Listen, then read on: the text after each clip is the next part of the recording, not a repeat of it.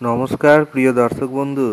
Modern scientific অ্যাস্ট্রোলজিতে আপনাদের স্বাগত জানাই। মকর সংক্রান্তিতে রাশি অনুযায়ী কি দান করলে সেই দান আপনার কাছে একশো গুণ থেকে হাজার গুণ ফিরে আসতে পারে, সেই সম্পর্কে আমি আপনাদের জানাব। বারোটি রাশি, এই বারোটি রাশি কি কি দান করবেন? আসুন আমি জানিয়ে দিই।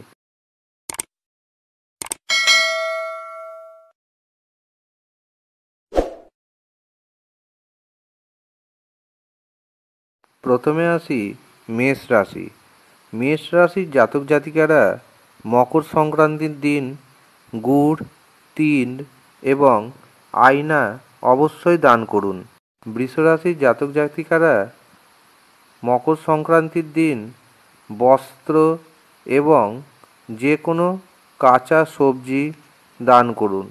এতে আপনার উপকার হবে। মিথুন রাশির জাতক জাতিকারা মকর সংক্রান্তির দিন তিলের নাড়ু এবং যে কোনো সবুজ রঙের বস্ত্র দান করুন গরিব দুঃখী মানুষকে। কর্কট রাশির জাতক জাতিকারা সাবু এবং সাদা রঙের বস্ত্র দান করুন গরিব দুঃখী মানুষকে। সিংহ রাশির জাতক জাতিকারা গুড় এবং ঘি দান করুন মকর সংক্রান্তির দিন। এতে আপনার সুনাম বৃদ্ধি পাবে। কন্যা রাশির জাতক জাতিকারা মকর সংক্রান্তির দিন তিলের নাড়ু এবং সবুজ রঙের চাদর বা সাদা রঙের চাদর দান করুন।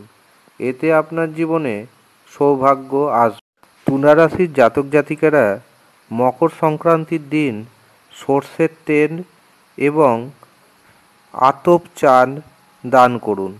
এতে আপনার সৌভাগ্য বৃদ্ধি পাবে।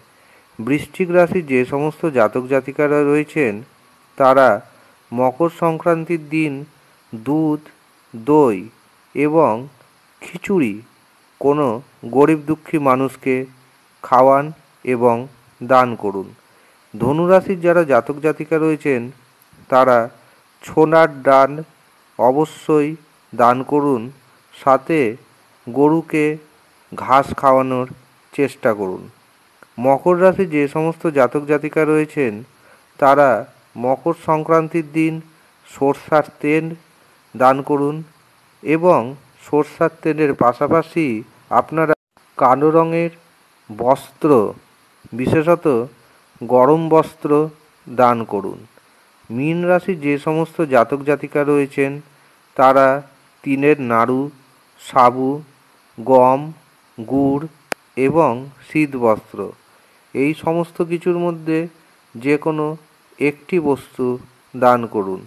দেখবেন আপনার জীবনে সুখ, শান্তি, সৌভাগ্য